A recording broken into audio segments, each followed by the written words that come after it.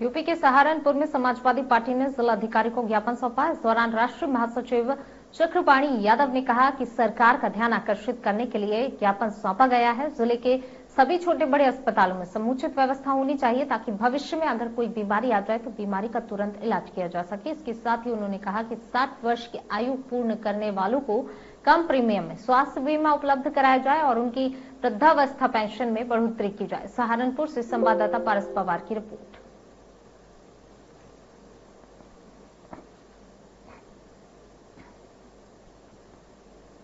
ये प्रदेश की विभिन्न समस्याएँ जो हैं उनको सरकार का ध्यान आकृष्ट करने के लिए महामहिम राज्यपाल को संबोधित ज्ञापन जिलाधिकारी के माध्यम से दिया गया है। किस तरह की समस्या? पहली समस्या देखिए कि जो कोरोना महामारी हुई थी तो उसमें सरकार ने अपने जो भी सीमित संसाधन थे काम किया। अच्छा काम किया, उसकी हम लोग प्रशंसा करते हैं।